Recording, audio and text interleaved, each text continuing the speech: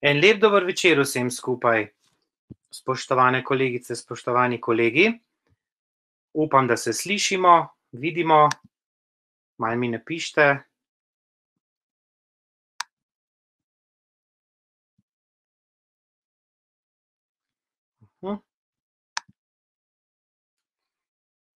Slišimo, vidimo, super. Če boste imeli kakšne težave, se še enkrat prijavite, to je najboljše zdravilo. Pa vmes, če bo kakšno zadevo naredili nevidno in podobno, tudi napišite. Drugače pa dober večer še enkrat. ja, danes ste se udeležili že tretjega webinarja, in sicer na temo GoFormative. Jaz verjamem, da vas večina zanima, da večino zanima, kako spremeniti obstoječe teste v elektronsko obliko, tudi to bomo pokazali. Tako. Za tiste, ki me še ne poznate, moje ime je Dejan Kramžar, sem učitelj nemščine in zgodovine ali pa zgodovine nemščine na Osnovni šoli Toneta Vkrogarja. In bom danes z vami delil to orodje, ki se imenuje GoFormative. na začetku bi rad opozoril, da ni treba čisto dobesedno jemati zadevo, ne, kot formativno spremljanje in podobno, kajti zadeva se lahko uporablja tudi praktično za ocenjevanje znanja pod nadzorom. Seveda na daljavo se boste spraševali, koliko je objektivnosti, pa če mogoče malce zamižimo, ne, pa rečemo, da v času, v katerem živimo, ne, to vsak teden ponavljamo, in razmerah tudi ta zadeva lepo pride prav, ne. Okej, grem na drugo prosojnico. kar se tiče GoFormative, jaz sem te zadeve pobral z njihovega Twitter računa, in sicer njihov logotip, ne, da imamo radi GoFormative, zato ker nam omogoča res veliko. Potem se zahvaljujejo nam, učiteljem, ne, in imajo zdaj tako spremenjen logo na prvi strani, teh superjunakov, kot učitelji superjunaki, ki pač uporabljamo GoFormative oziroma tisti, ki ga še boste. Preden pa nadaljujem z GoFormativom, imam pa za vas tudi eno zelo veselo novico, in sicer sem se pozanimal pri avtorju spletne strani Udlu, tiste, ki smo jo nazadnje predstavljali, in mi je napisal, da mu statistika kaže, da je petsto štiriindevetdeset učiteljev iz Slovenije se v zadnjem tednu oziroma v zadnjem kvartalu, kako se naj izrazim, prijavilo na njihov portal in je prav navdušen, no. Zato smo tako majhna država, ne, pa še vedno, je zelo veliko prijav zaznal, ne. Tako da kar pogumno uporabljati zadeve, tako kot danes GoFormative, ne. Zdaj, kaj GoFormative sploh, je? To je zadeva za ustvarjanje, tako kot vam piše, virtualnih učilnic, kjer lahko vi nalagate, čakajte, bom tule kliknil, kjer lahko vi nalagate, videoposnetke, se pravi, vi lahko nalagate slike, lahko naložite tudi kakšne spletne strani, ki ste jih našli, pa bile recimo bile uporabne pri testu oziroma pri spremljanju, preverjanju znanja, lahko pa iz tega naredite tudi delovne liste. če znate embedati oziroma vdelati kode z določenih spletnih strani, potem, bi vas povabil, da tudi to naredite, ne. Nič težkega, to so tiste kode, veste, ke je polno nekih znakov levo, desno, tisto samo kopiramo, prilepimo in se nam pojavi. Potem pa imamo pri GoFormative tudi možnost, da zbiramo odgovore, seveda, ne, saj testov brez odgovorov ni, in lahko celo učencem pošljemo nazaj povratno informacijo.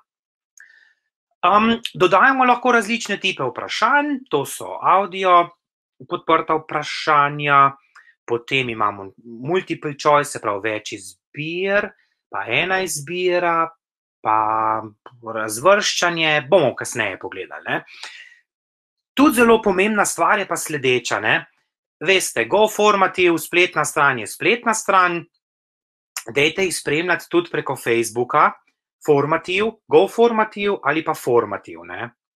Potem Twitter, tudi zelo veliko se na Twitterju pojavljajo, ne? čeprav mogoče za nas včasih rečemo, Twitter ima mogoče malo negativnega prizvoka, ne?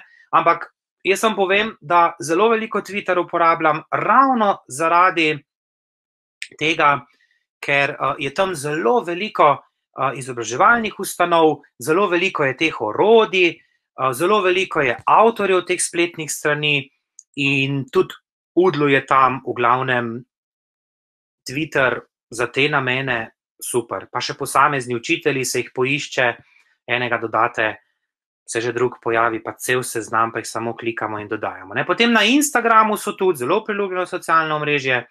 Največ pa boste odnesli od GoFormativa danes od webinarja, plus seveda še ogromno video posnetkov na YouTube kanalu, ki se imenuje Formativ.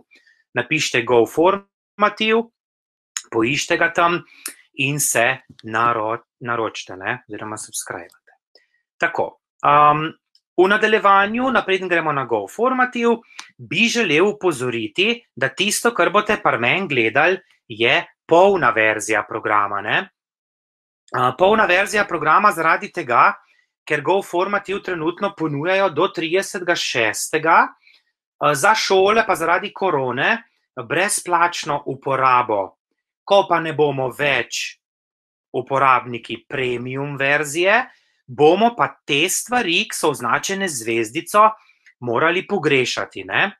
Um, sicer pa tudi mesečna naročnina na to orodje ni grozno visoka, ne govorimo v stotih dolarjih in podobno, ampak pod 20 dolarjev. Um, vmes, zdaj bom šel jaz na GoFormativ, potem bomo reševali še eno anketo. Ko boste vi odločali, katera orodja boste za naslednjič izbrali, vam jih lahko že kar mal predstavim. Pa boste rekli, ja, čisi ista je dal kot zadnjič, res je, prav ste uganili, ista sem dal. Quizzes, Ed Puzzle Spiral, dol spodaj sem pa zamenil, oziroma sem pa dodal LMS. LMS je pa trenutno zelo popularna zadeva in pomeni Learning Managing System, Manager Managing, ne vem točno zdaj prevoda. LMS je pa res nekaj, kar jaz vidim v tem eno veliko prihodnost. In tisti, ki uporabljate spletne učilnice, te zadeve že poznate, ampak niso samo spletne učilnice LMS, lahko je to tudi še mnogo več. In obstaja en kup programov na to temo, jaz trenutno spremljam bolj kot ne enega, ki me je zelo navdušil. In če boste za, potem zberite LMS kasneje v um, anketnem vprašalniku. Drugače pa vidim, da že pišete, skje prihajate, mogoče vas še vprašam, skje ste. Vidim skrasa, jaz sem drugači za Savja, pa imamo Ptuj, tako. V redu. Zdaj, tako veliko pišete, da že skoraj ne morem več prebrati. Super, v glavnem smo z cele Slovenije. Ne? V redu. Ok, da ne dolgo vezim. Um, grem kar zdaj na GoFormativ. Ok, takole, prezentacija. Bom zdaj delil z vami zaslon in boste vi meni povedali, če tolo zadevo vidite. Grem nazaj. Naj mi nekdo napiše, če to zadevo vidi, me zelo zanima. Ok, vidim, da se odzivate. Tako, jaz bom zdaj z vami delil GoFormativ. Super. V redu, če me pa vmes še opozorite, če bo, če bo kaj um, zaštekal. Tako, zdaj, tista prva stran GoFormativ je takšna. Ne? Piškotki, koliko stane zadeva, kje se nahajajo stvari. Um, tri vrste prijave, učitelj, učenec, šola, vse je v angleščini, kako stvar poteka, kako stvar deluje, kako se lahko na koga obrnete, pa mal teh primerov, to je na teh prvih straneh, ne, njihova reklama, s kom se lahko povežete, ne, Google Classroom, ClassLink, Clever, sploh ne poznam, Classroom približen, spodaj imate potem ustanovitelje, učitelje, inštruktorje, uh, na njihove nagrade, ponovadi pa tisti čist spodaj, ne, jaz pravim temu tak mini droben tisk, tega pa kar ponovadi ne beremo veliko, ne, in je zelo veliko uporabnih stvari. Blog, Team, Twitter, Facebook, zgodbice, primeri, video posnetki itd. Ne. Zdaj, vi se boste prijavili kot uh, učitelj, ne, kot teacher. Ko boste klikali sem, ne bom za to vse razlagal, to, to se znate prijaviti. Lahko se prijavite z Googlovim računom, z Microsoftovim, ali pa se sami prijavite preko vašega maila. Ko ste enkrat prijavljeni, lahko vstopite v GoFormativ. Še enkrat, tu zgoraj imate COVID-19 in, in vam podarjajo šolam to, morate zbrati, potem school team, napisati šolo, dodati, koliko učitelj je, potem poslati, in vam bodo odprli en tak res zelo širok um, nabor vseh orodij, to so tiste premium variante. Preden pa začnem, da ne boste rekli, da nisem povedal, to so pa cene. No? Zdaj, osnovni program uh, za enega učitelja ima že dovolj stvari. Bom rekel, za osnovne uporabnike dovolj in je brezplačen, za enega učitelja, ki bi želel pa zraven videti še 20 dodatnih stvari, med njimi tudi, da um, sistem zazna, ali so, ali so prepisovali, ne prepisovali, ne smem tako reči. Če so dal copy-paste varianto, pa jim sistem zazna, pa vsakega učenca posebej spremljate, itd., pa audio content. V glavnem, veliko, veliko teh stvari dodanih, um, to je pa pač premium varianta. Ne? Za 12 dolarjev na mesec, če plačate letno, če pa mesečno je pa 15. Tako, no, smo 10, 12, pa še 24, pa si izračunite. Ok, mm, mogoče še kakšen nasvet z tega. Ja, gledajte, če greste na premium varianto, ne pa da imate 12 dolarjev na mesec, pa se mogoče, ne vem, no, bom tako malo zamižal spet na, na drugo oko, dogovorite, ne, pa si lahko mogoče kakšen račun tudi potem malo eh, porazdelite. Ne? Če na oteglih sami imeli 50 testov, se tukaj pa tudi jaz nimam manj. Um, zdaj bomo šli v GoFormativ. Moram vam povedati, da zadevo sem poznal že prej nazaj, pa sem tudi udeleževal kakšnih delavnic, ki so mi to predstavljali. Pa sem si vedno rekel, ja, jaz bom to enkrat uporabil, pa zdaj mi še ni treba, pa si vedno si puščam kakšna orodja za sprot, pa malo za študirati.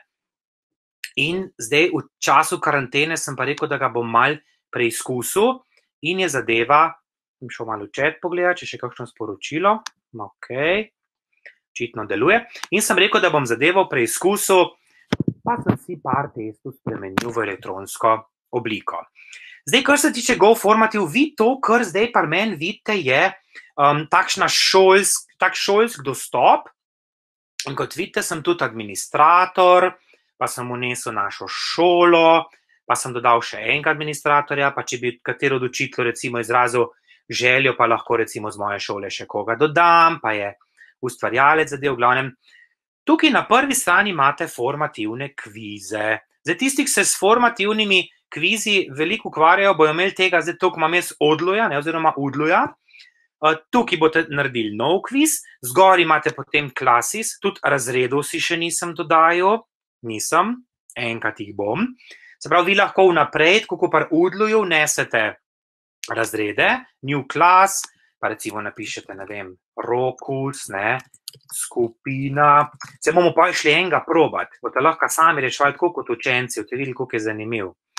Ne vem, pa rečem, da se imenuje RS, pa označim razrede, pa kateri predmeti se v tem razredu poučujejo, pa recimo ga označim s takšno modro barvo, pa dan create, recimo, ne, in ko jaz učence vnesem, jih spet, kot pa odluju, ne, lahko vnašam, ne, tukaj, ne, takole, vsazga posebej, pa vmeš že na pol za spin, ker je to tukaj veliko učencev, pa tukaj skupin. Ustvaril sem roko skupino, recimo, in tega danes ne bom naredil, lahko se pa kasneje pridružite, dal učencem tolo kodo, bojo šli samo na goformativ.com, pa na prvi strani klikli join ali pa tolo povezavo, unesli kodo in seveda, da tudi učence navajamo, tako kot pa udlu, sami se upišejo, bodo že znali.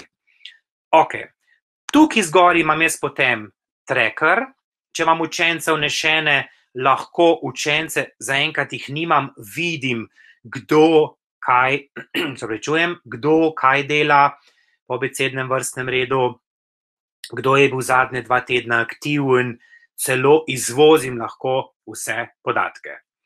Tukaj zraven imam pa library, to je pa knjižnica že obstoječih Go formativov. Če vi dovolite vaš test, da gre v knjižnico testov, kvizov, potem lahko jaz, recimo se zdaj zmišljujem, ne, bom jaz tale kviz tukaj na stran pregledu, zakaj se gre, pa bom rekel, aha, tale kviz je pa kar v redu ocenjen, no, 17 ocen, 3 od 5, ok, povprečje, bi ga jaz želel recimo uporabiti. Kliknem na plus, se meni ta kviz doda in ga lahko jaz potem sam urejam. Okay, tukaj so potem administratorske zadeve, tukaj se vidi, če imate šolski račun, tudi kateri učitelj kaj naredi, da je naredil test, um, koliko testov ima. Celo, če ste administratori, to po mojem bolj za računalnikarje, zanimivo, recimo pa za vodstvo šole, lahko celo dostopajo kot administratori do vaših ocen, recimo, ne? pa vidijo tudi dejansko, kaj so otroci reševali. Tako da tisk bo administrator, mu morate kar fajn zaupati, da ne bodo zadeve letele pol kar vse povsod. Tako, tukaj dodana šola, to je to. Kaj imamo tukaj zgori? Uh, quick code, tista koda, ko mi učitelj posreduje, oziroma no, vi, učencem.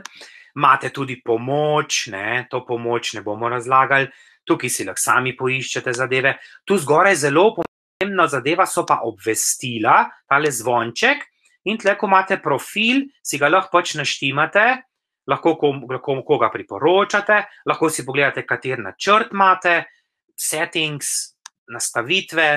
V glavnem, lejte, pod nastavitve bi bilo zanimivo omeniti, jaz sem recimo moj kriterij na to nesu, ne, na družboslovno, naravoslovnega aktiva in ko moji učenci rešujejo kviz, točno dobijo nazaj procente in vejo, koliko je kdo dobil, ne. Vidite, tudi po barvih rdeča, pa še, eh, še enkrat rdeča, pa oranžna, pa rumena, pa zelena, tista ta najboljša.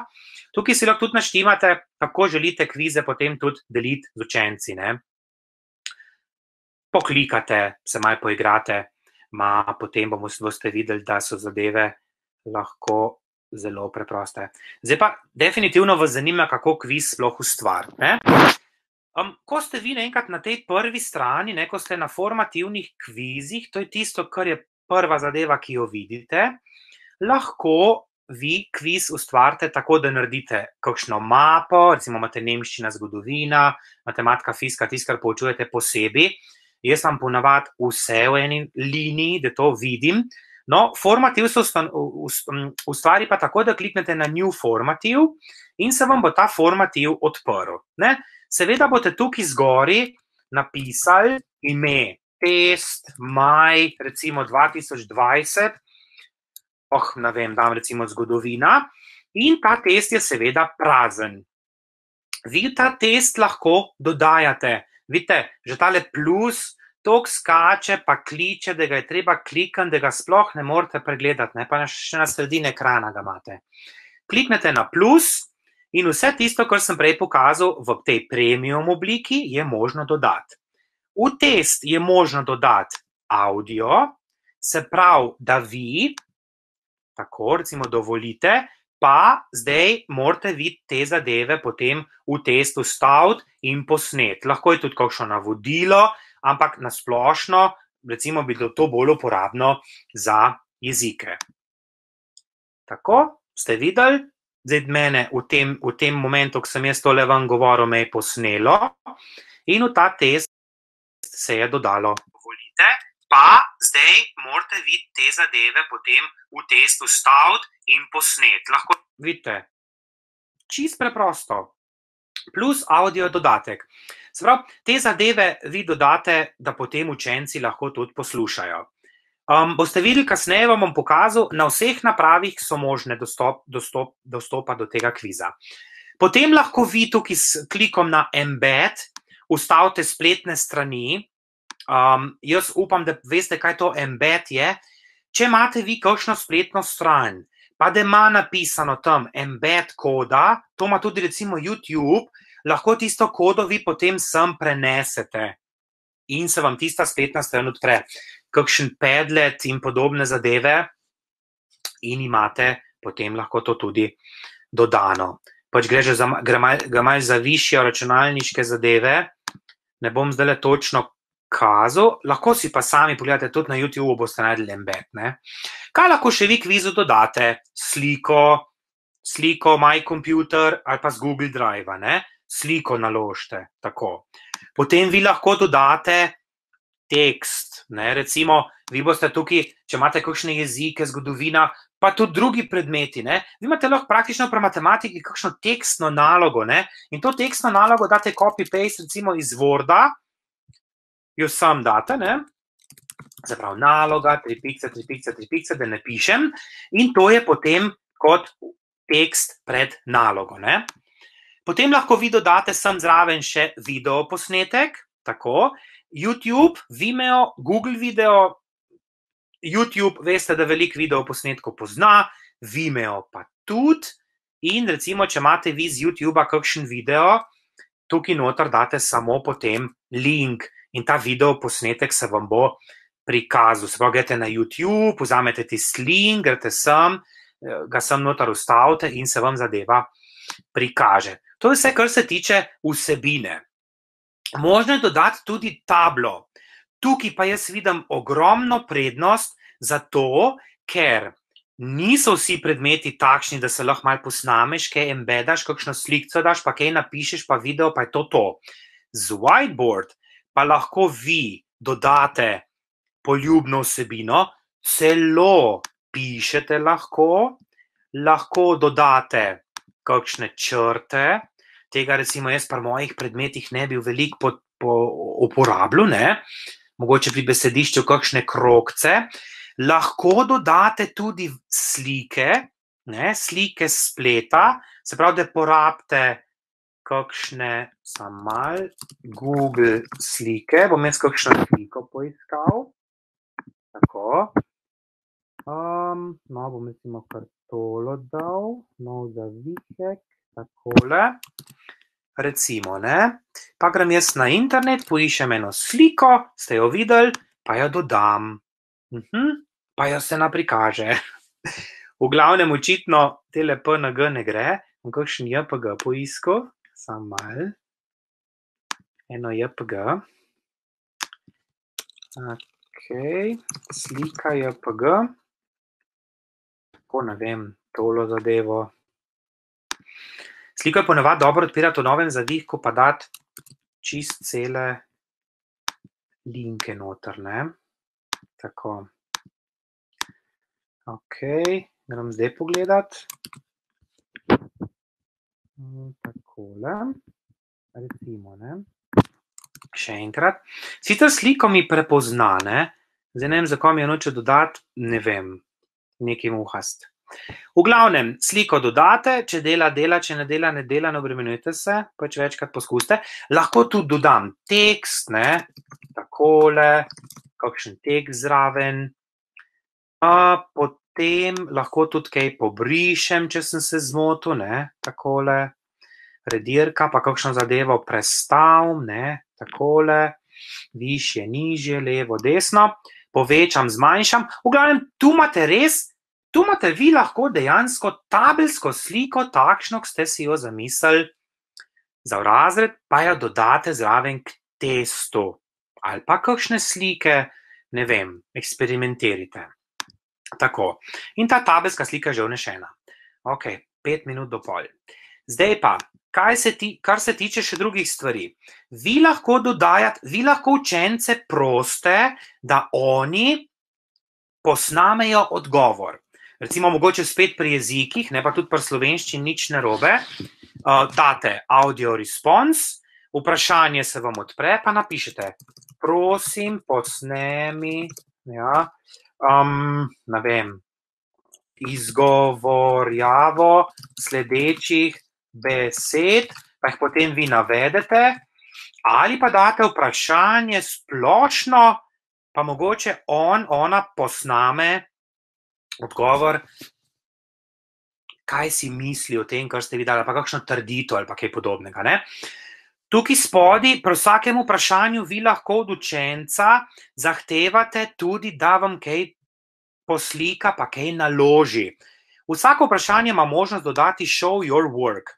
In tista tabla, ki sem vam prej kazal, tukaj ne, to učenec vidi in lahko podobno dela kot vi. Kaj nariše, kaj doda. Jaz sem grozen v risanju, ne? tako da nam znal čisto nič narisati. Ne? Eno mojih najšipkejših področji, da znam, sploh ne znam nič narisati. V glavnem sliko bi že znal poiskati, pa kaj napisati.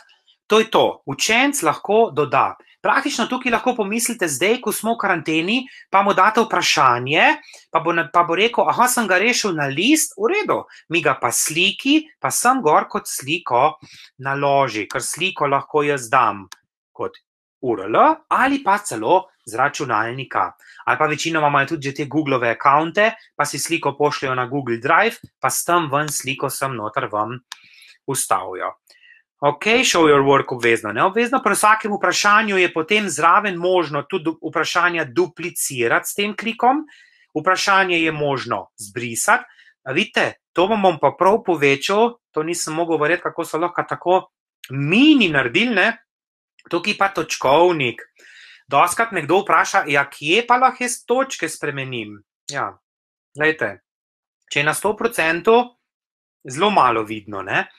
Če si pa to povečate, imate pa tukaj točkice. Recimo, to vprašanje, ki se bo meni učenec posnil, ko bo njegovo razmišljanje, bo višji standard, ne vem, kakšno znanje, bom rekel, aha, mu dam tri točke. Če bo uspešno posnel, oddal, mu dam tri točke in to lahko poljubno spreminjate. Kaj je še možno dodajati? Aha, če se še malo vrnem. Pri vsakem vprašanju je še poleg tistega zgori možno dodati audio, dodatno, Ne, ne vem, zelo tukaj, bi bilo tukaj smiselno. Lahko, lahko vi nekoga pri jeziku nekaj vprašate, pa se posnamete, on vam pa nazaj posname odgovor. Embedate spletno stran, emojije se lahko dodaja, to veste, kaj je, ne bomo posebej razlagali. Takole.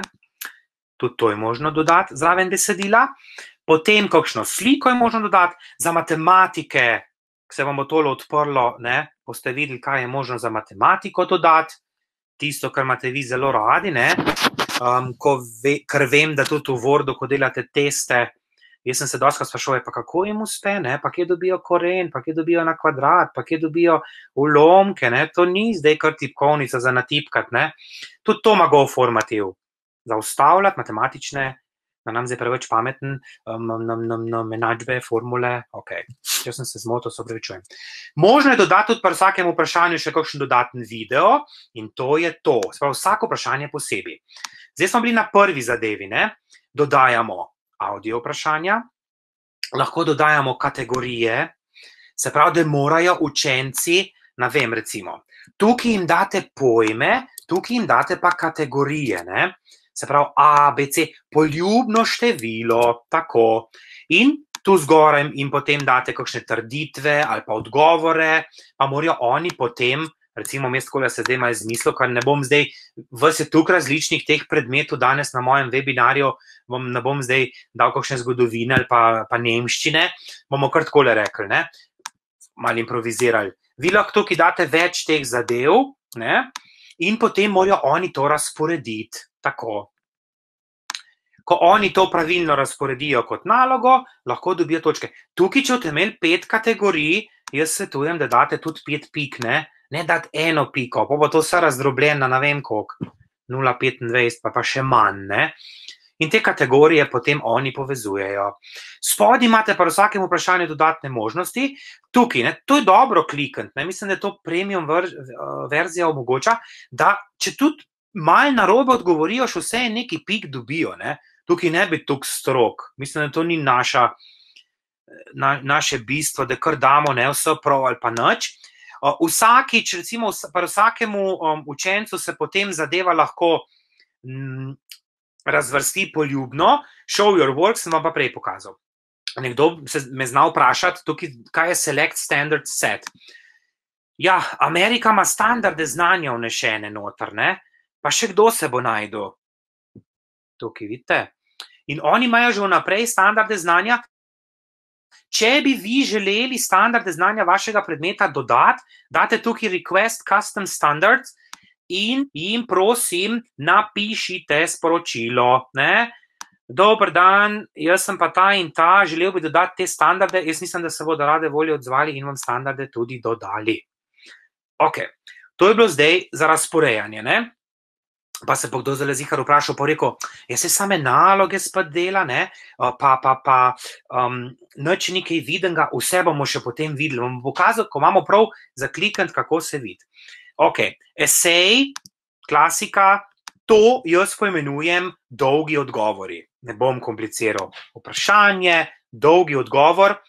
Če se kdo sprašuje, e, kako, kako bo pa sistem popravil, te odgovore moram jaz kot učitelj sam popraviti. Graphing, tako. Um, seveda, spet pride na vrsto matematika, statistika, poslovna matematika, če to še obstaja, to sem jaz v srednji šoli imel. Te zadeve so tukaj z grafi lahko podprte. Ne? Se pravi, in oni praktično rišejo po teh grafih.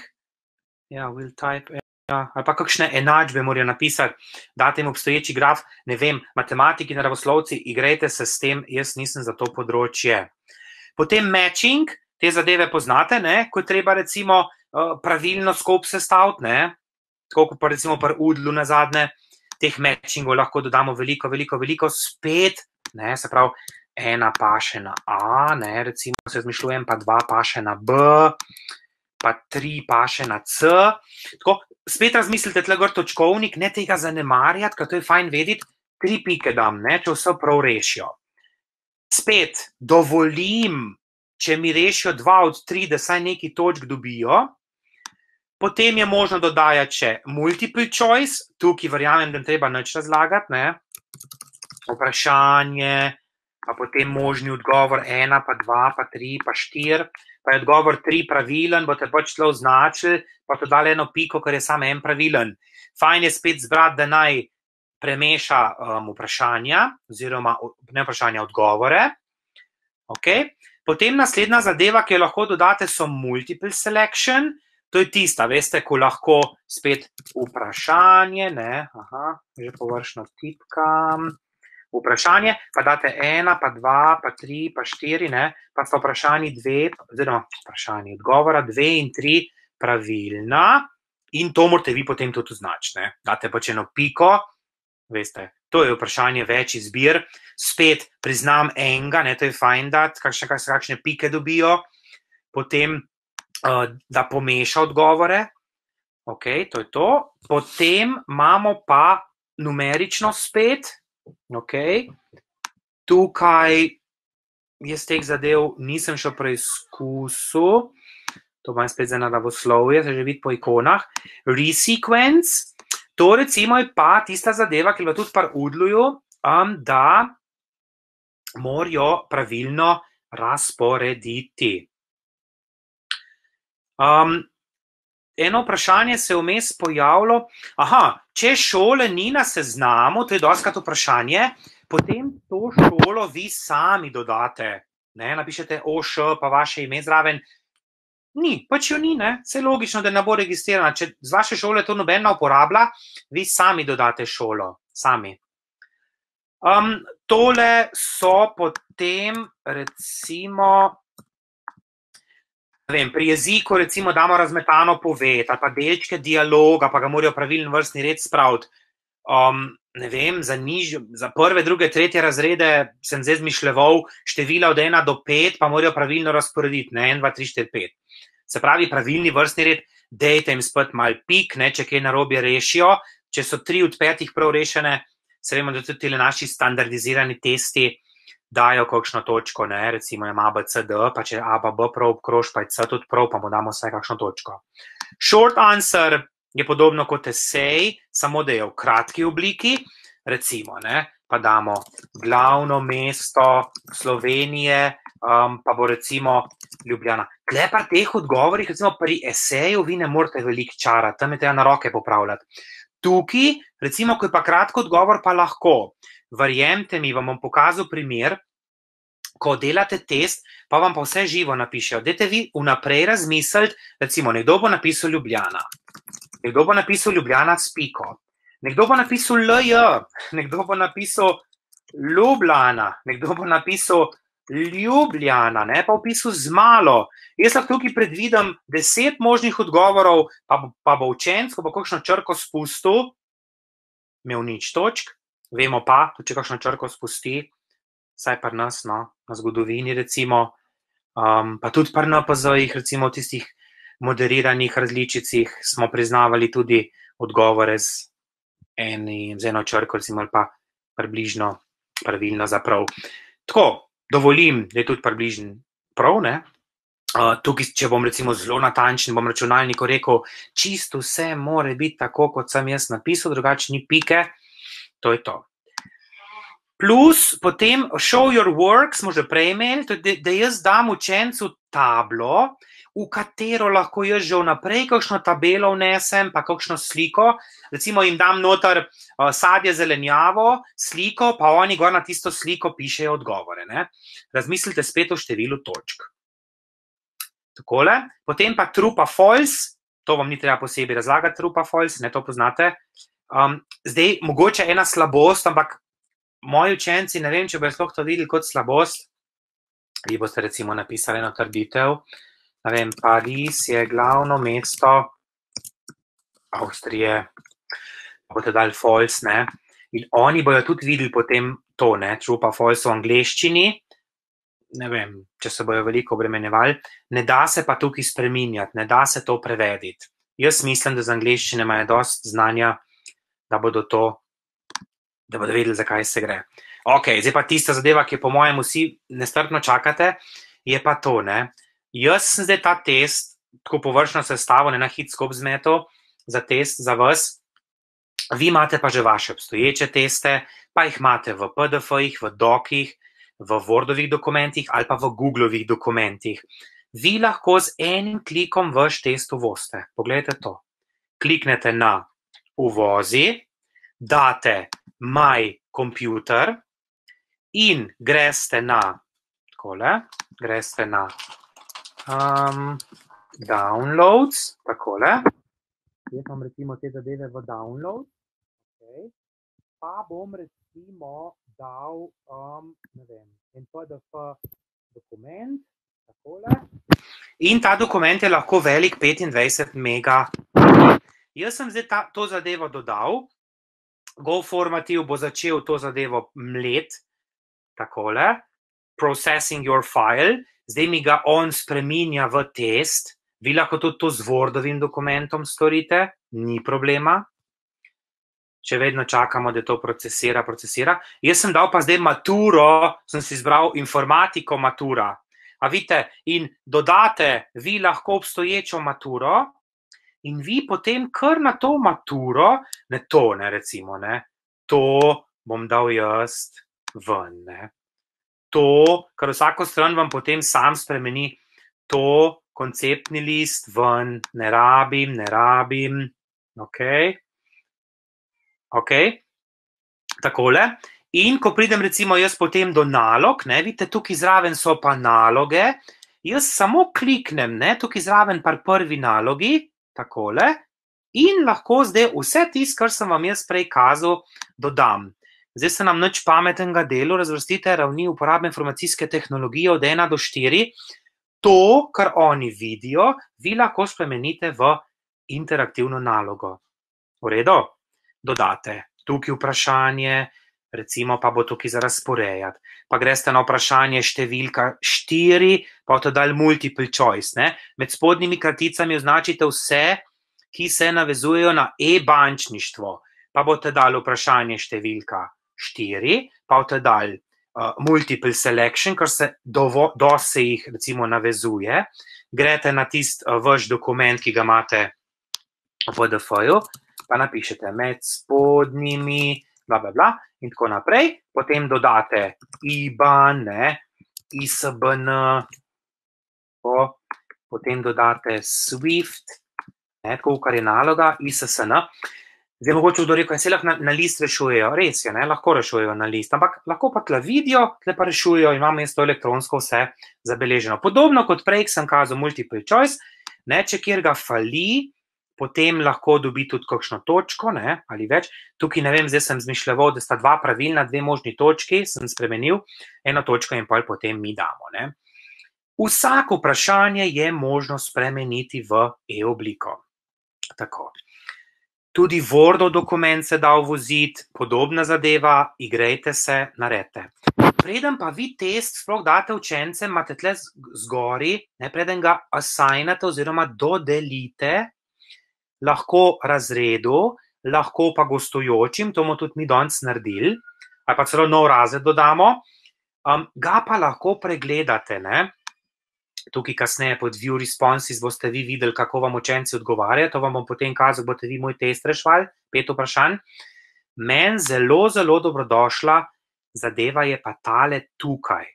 Ne moj profil, ne zvonček, ne pomoč, ne tri pikce, Ne, tukaj imate naslov, oziroma tukaj imate navodila, kako se naj prijavijo na vaš uh, test, pa kako širite test, oziroma delite, se pravi, kako lahko recimo barvo splavo spremenite v drugo, kako celo lahko naprintate ta vaš test, ki ste ga ustvarili. Ne. Takole, date na print in imate potem vidno v obliki PDF-ja in ga lahko natisnete. Zdaj bom pa šel pa na bistvo. Tu zgoraj imate oko, in pod tem očesom se vaš test skriva. Vi zdaj ta test točno vidite takšen, kot ga vidijo vaši učenci. Prvi zavihek. Takole ga bodo videli učenci, če bodo vaš test reševali na računalniku. Takole ga bodo videli, če ga bodo reševali na tablici, takole ga bodo videli na mobilnih napravih. Pa mi je stale moj fake news test zaprl pa bomo šli mi zdaj kar na naš test, rokus, takole. Rokusov test sem jaz danes naredil.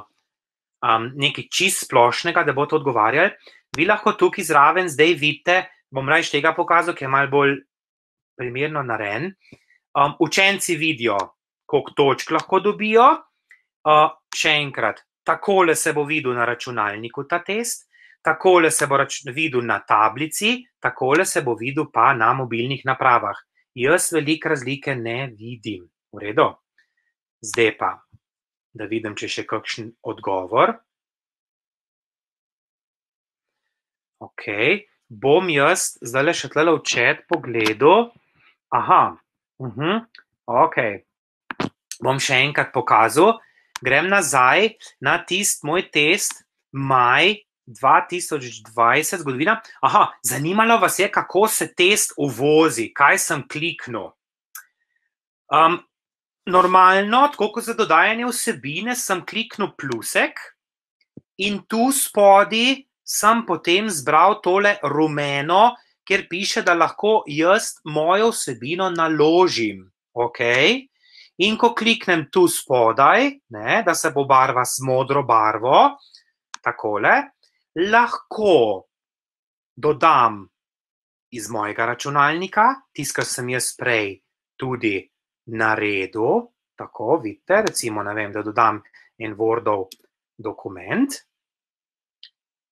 ali pa lahko dodam test z Googlovega računa, se pravi, tisto, kar imam v Google Drive. Ok, bom samo preveril, če se je tole zdaj videl, če ste zasledili.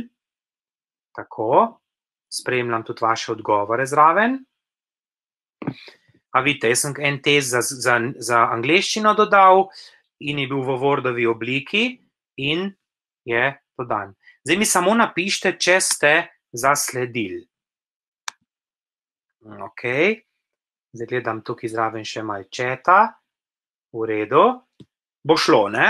Se pravi, tu spodi dodate vi še enkrat, to je zelo pomembno, ne? Plus, spodaj PDF, dokument, Google Doc in sem preko tega vi uvozite vaš obstoječi test. Ok, zdaj imamo pa še 15 minut.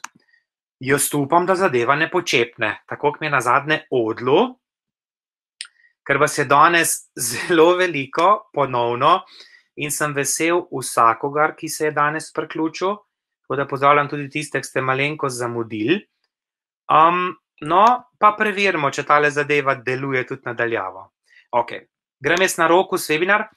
Lejte, zdaj to, kar vi gledate, je tisto, kar boste vi dali učencem navodila. Vi ste zdaj moji učenci, jaz sem zdaj rečem, ok, učenci, mi bomo šli zdaj reševati moj test. Kliknem na assigned, ga dodelim, ker v roku skupini nimam učencev, jaz vas danes uh, par sto ljudi ne moram unesti, bom pa vam dal kot guest students. Preden pa jaz nadaljujem, tako guest students, boste vi dobili eno kodo, lahko, veste, tudi pomembno. Jaz, ko imam unešene razrede, lahko diferencirano sestavim teste in jih lahko dodam učencem, ki želim. Lahko dam petim ta test, šestim takšen test, pa imamo učence s posebnimi potrebami, pa drugačen test sestavim, ne ga uvozim, naredim. In jim ga določim, ne? in ga dobijo samo tisti učenci. Jaz tega zdaj ne morem narediti, ker nimam, recimo, razreda. Ne? Potem, tudi dobra zadeva, premium. Te zadeve so zdaj, kar vam kažem, bolj kot ne premium. Ne, ne biti porazočaran, ko boste šli na free varianto, ampak obstajajo pa ne te zadeve, ampak so premium. Tudi meni bo po 36. tole zginilo. Ne?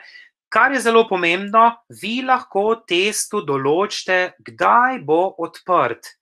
Točno, tale test bodo moji učenci reševali jutri, nadaljavo, oziroma v šoli, ob 8. ga odprem, test se bo zaprl 8:45. 45 minut bo test odprt in to je to. Ko bodo učenci dodali svoje odgovore, jim lahko naštimam, da bo njihov, um, njihov test ostal viden, pa ne dovolim spreminjanja odgovorov. Lahko jim dovolim, da še kaj spremenijo, ko že oddajo, lahko ga čist zaprem, ko ga enkrat odda, test izgine, to je možno tukaj nastaviti. Potem ne prikažem jim, koliko točk so dosegli, pokažem jim točke, ko so oddali, vmes, ko so rešvali, jim pokažem točke, ali pa točke jim pokažem, ko so test zaprli. In kar to na splošno pusto, nam naš dan spremenil. Um, ok, lahko tudi naštimam, da se jim izpišejo pravilni odgovori, ko oddajo odgovor, ko um, recimo, lahko jim tudi dam, ko ne da, da sistem ne sporoči pravilnih odgovorov, lahko pa tudi naštimam, da dobijo odgovor, ko um, zaprejo test, ko mi ga že čisto dajo. Prosim vas, zdaj, ko se boste vi prijavili, ko boste vi boste šli zdaj reševati ta moj test, da ostanete na tisti strani prijavljeni, ne zapirati stran. Tako. Bom pa tole tudi ne bom zdaj vključil, ker imam nek sistem zadnji. Ne bom dal, da mi bo vprašanje razmetel. Za vaš test, recimo, je fajn, če gledate računalniško učilnico, pa imate take velike ekrane, pa lahko en drugem gledajo, takrat pa date. Ne?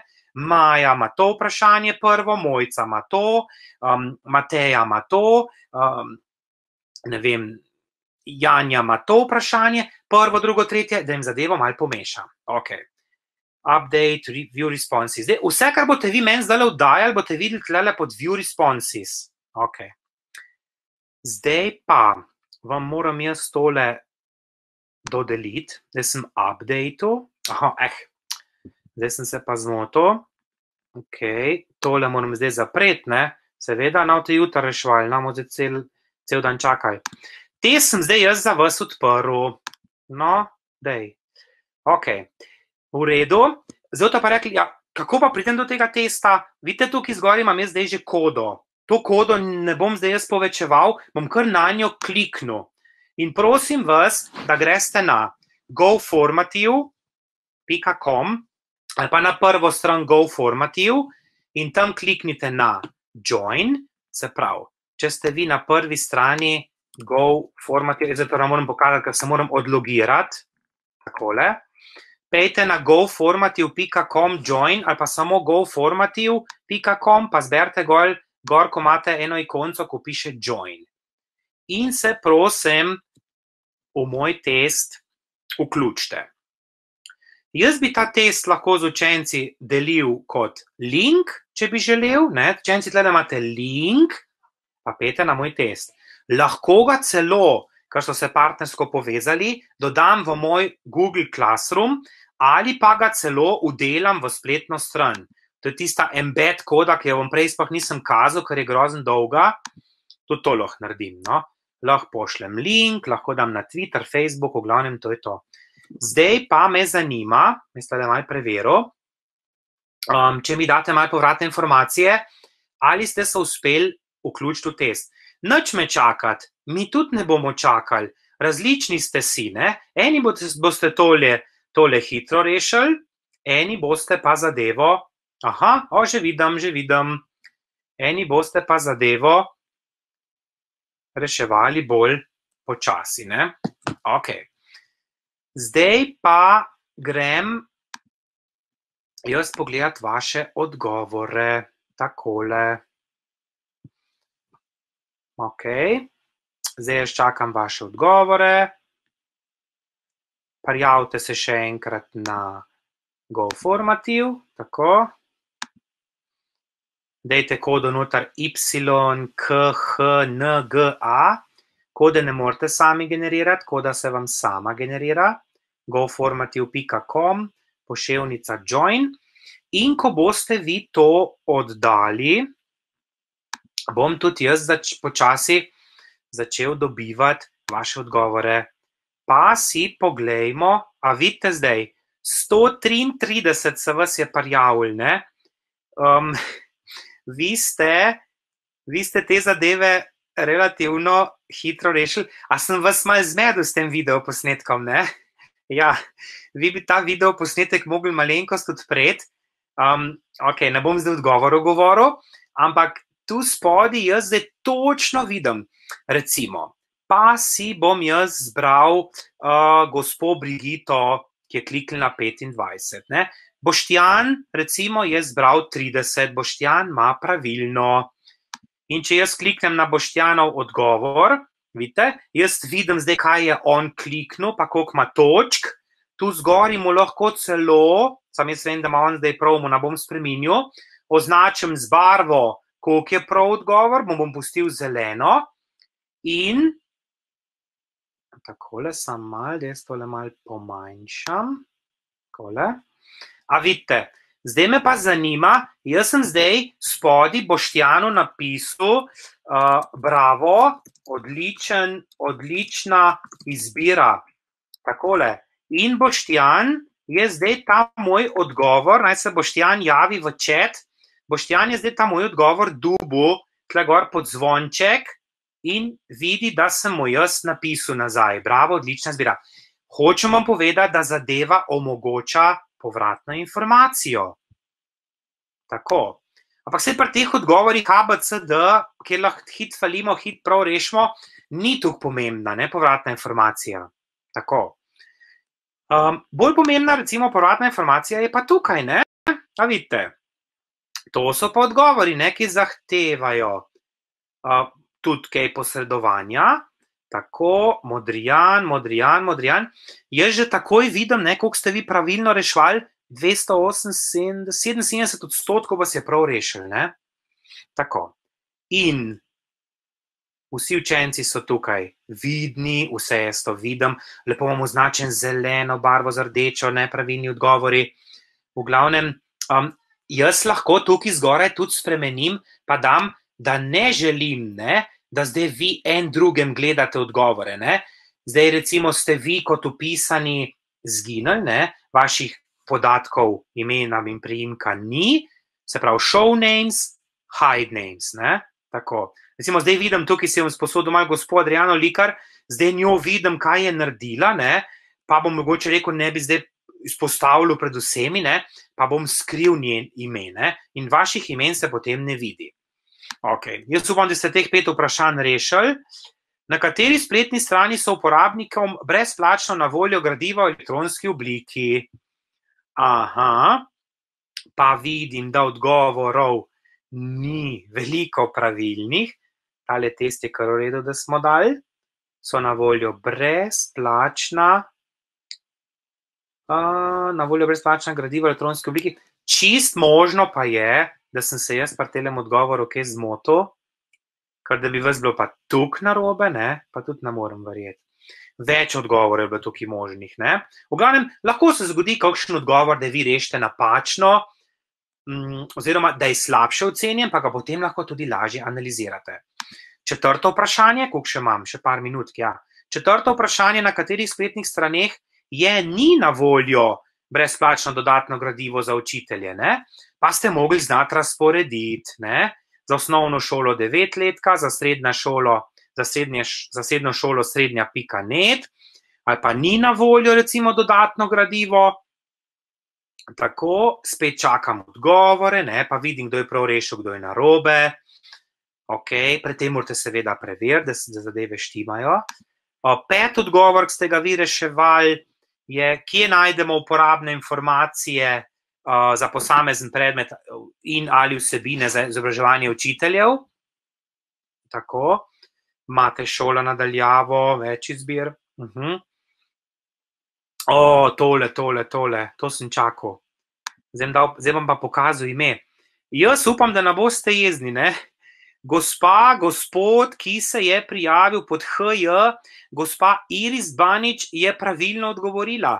Najdete na roku sovi centrifugi, ro, najdete na šolo nadaljavo, obstaja pa tudi modra akademija. Dobila je vse točke. Šesto vprašanje je pa navedite en primer rokusevega gradiva, poigrajte se s tablo. A zdaj vidite, kako je na tabli delati. Pa ste na računalniku, pa recimo nimate tablice, pa je čudno pisati. Ne? Zdaj Adriana Likar je napisala dovednih pec, je zbrala črke oziroma je tipkala. Ne? Čisto odvisno od učenca, ali bo risu, ali bo pisu, ali bo s prstom risu. Ne? kakorkoli, delovni zvezek, Lilin Bine ena. Vidite, tukaj tudi Ana, Ana ki je rešila, uh, tako se je parjavila, se tudi vidi njena pisava, ne? tudi malo individualno. Radovednih pet je napisala Andreja. Itd. Sprav, vse to, kar imamo, Barbara je napisala magnet, Lili in Bine, vse to se zabeleži. Vi bi tukaj dejansko lahko dodali, kot je Damjana Čibe narisala eno zelo uh, lušno karikaturco. Um, vi bi lahko tukaj tudi dodali kakšno sliko. Ne, recimo, Erika je napisala: Hvala za webinar, znam za več. Vi bi lahko, recimo, od učbenika dali zraven sliko ne, in se točno vidi, zakaj gre. Zelo sem vesel, da ste tok stvari zdaj rešili. Preden pa zaključim, bi vam rad pokazal še to, kako se zadeve potem vse shranijo. In sicer, um, Tukaj imate zdaj gumb export. Vi lahko vse rezultate izvoste. Ne vem zdaj, ali bo Excelova tabela ali bo Wordova, po mojem bo Excelova, tega ne bom zdaj počel. Bolj pomembno je to, cel razred, ena tapeta, tukaj piše totals, ne? in ko vi pogledate, aha, a vidite, mal je trajal, nekaj vas je ogromno. Poglejte zdaj to, koliko vas je moj test, ok, test, na novem tem reči test, rešilo zdaj v teh parih minutah. Spet bom skril imena, ne, malo varstva podatkov upošteval. In sicer imam zdaj tukaj točno napisano, to smo mi gledali 1, 2, 3, 4, 5, 6, koliko je kdo uspešno rešil. Mene pa zanima razredna statistika. Ko kliknem na points, vidite tukaj zgoraj, malo povečjo, očitno malo maj, majhno sliko. Takole. Ko kliknem na points, se bo zadeva spremenila v točke. Okay? Ko kliknem še enkrat gor, dobim procentualni prikaz. Prvo vprašanje ste rešili 33 odstotkov, drugo 78, tretje nič, četrto je kar nekaj neznano, peto pa 10 odstotkov. Ok, pustimo zdaj rezultate. Le da sem se jaz vmes kakšno vprašanje, kaj zmotil, tega si seveda ne smem prvošiti, ko dam ta prav test, ampak razporejam pa zgoraj, ne, totals, se pravi tako, 22 je povprečje, ok, smo tole na hitro rešili, zdaj pa jaz lahko razporedim ne, zadeve. Um, po, po imenu od A do Z, mene ponovadi zanima tole, ne, from high to low. Zdaj pa malo imena pokazal. Se pravi, Polona, Ana, Špela, Vlasta, Boštjan, Gabriela, Marjeta, Marta, Marta, Nikolina so recimo rešili za 60 odstotkov. Ne? In ste vsi, vsi udeleženci danes razporejeni kot lestvica. Lahko se razporedite, kot sem že prej rekel, da do z ali pa low to high. Uh, mogoče v razredu priporočljivo, da recimo, če bi kazali vsem trem oddelkom, če jih imate skupaj, um, rezultate, potem jaz ne priporočam, da kažete vsem trem oddelkom um, naenkrat, ampak samo tistemu oddelku, kjer recimo ste, ste delali ta test, da ga res potem samo oni vidijo. Ne? Kje učenci vidijo odgovor, ste mi tudi zastavili vprašanja. Um, učenci vidijo odgovor, če vi to naštimate.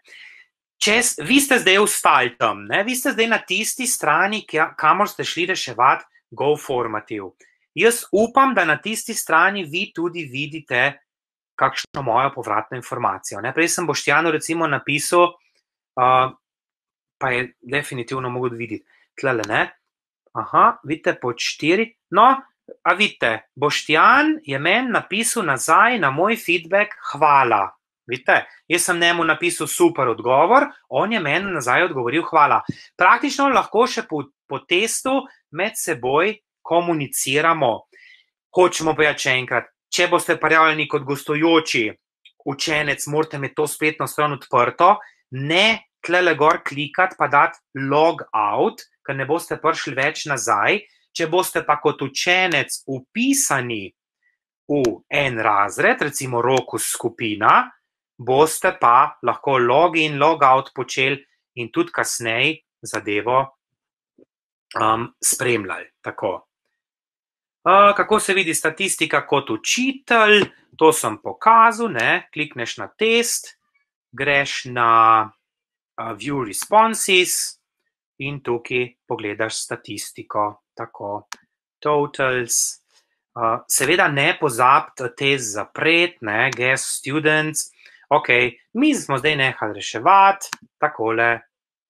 Jaz sem dal zdaj to na close, ok test je zaprt, ne more se ga več reševati.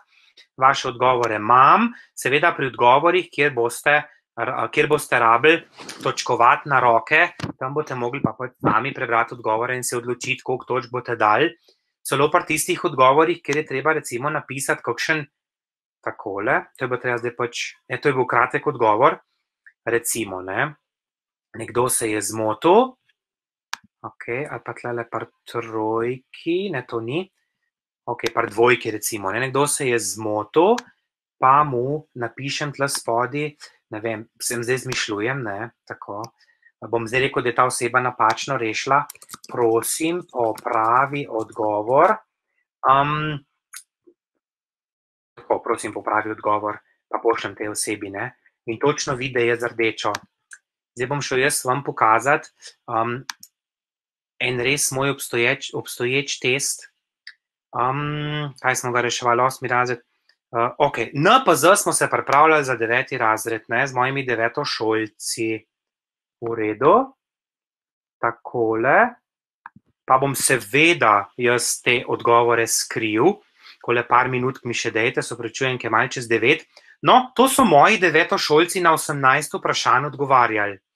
Ne? In to prvo vprašanje se je glasilo, vidite, pa je pisalo, uh, za katere vrste vira gre, pa je nekdo napisal pisni vid, pa pisni vir. Veste, kaj odgovor sem dobil v, v pisne vire, med pisne vire, a veste, uh, spet pisni vir, en samo pisni, en samo vir. In to sem vse na roke popravil, ne? in sem sam ročno dajal točke.